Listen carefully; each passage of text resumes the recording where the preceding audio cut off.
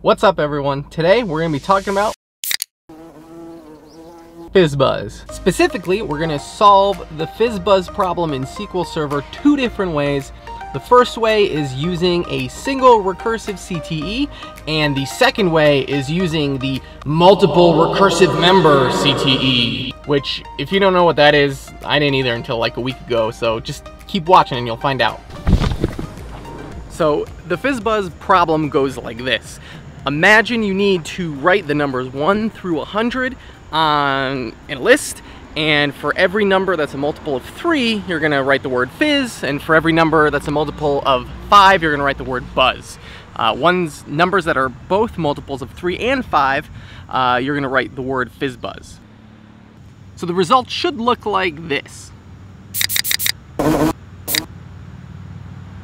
This is a very common programming problem used in interviews a lot to weed out applicants that have no idea how to code. And while SQL isn't maybe the best language to solve this problem with, since this is a SQL channel, we might as well solve it with that. So let's start with the basic recursive CTE solution.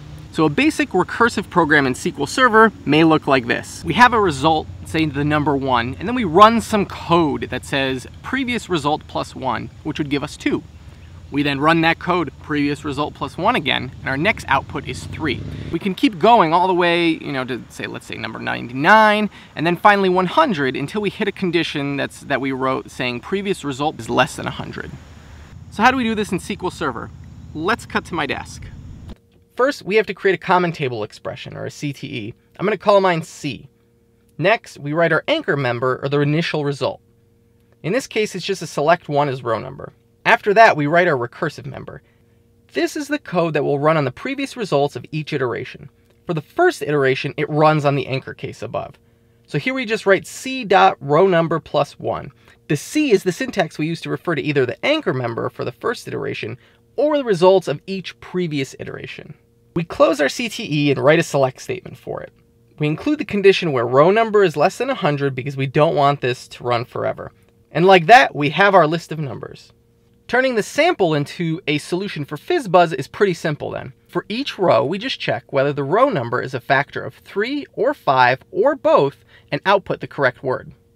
I'm going to change our anchor member to start at 0 and add a new column that includes FizzBuzz as the result because 0 is divisible by both 3 and 5. Our recursive member needs to match in the number of columns and their data types, so we add a case statement here. Let me paste that in. All this case statement does is use the modulo operator to determine if the current row number is divisible by 3, 5, or 15, the smallest number that's divisible by both. Depending on which statement it matches, we output either fizz, buzz, or fizzbuzz. We'll also update our final select to add our fizz or buzz column and order the data nicely. With that, we have our fizz-buzz problem solved. Now I mentioned at the start of this video that we're going to solve this problem with a multiple recursive member CTE as well. Multiple recursive members is actually how I got the idea for this video in the first place. See, last week I needed to write a plain old recursive CTE, and since I only have to use them once or twice a year, I was in the SQL Server documentation looking up the syntax. While reading the documentation though, I noticed a detail I never saw before. Multiple anchor members and recursive members can be defined. Multiple recursive members? What? I searched online, but I didn't find much information about how these work. So I figured why not try to apply multiple recursive member CTEs to the FizzBuzz problem to get a better understanding of how they work. So here's my solution for how I solve the problem using a multiple recursive member CTE. We keep the anchor member the same, but we add a new recursive member. This new recursive member is simply going to include all of the rows that are not divisible by 3 or 5. So the numbers 1, 2, 4, 6, etc. We then add our second recursive member, which will produce rows only that are divisible by 3. And then we add yet a third recursive member that produces rows that are divisible by 5. If we run our final select, you'll notice the code is mostly working, but we have duplicates of rows that are multiples of both 3 and 5. Not only that, they're mislabeled. They're missing the word fizzbuzz. So I add a string aggregate function to our final select to concatenate any rows with duplicate row numbers. If we run our final select again, you'll see our problem is solved. Now, is this a practical solution? no way. Uh, multiple recursive member CTEs, I think, are a terrible way of solving FizzBuzz, at least the way I wrote them. Uh, the single recursive method is definitely way better, uh, but I think this was a good exercise in learning how these multiple recursive member CTEs work, which is why I did it. I did find one article online by Itzik Ben-Gan, of course, who else, right, who writes about these multiple recursive member CTEs and tries to find practical problems to use them for. Uh, he did have a good one of solving family trees. It did see like using the multiple recursive CTE was an easier you know, form of coding rather than the single recursive CTE. So I've linked that article below. He does a really great job of explaining that using Lord of the Rings.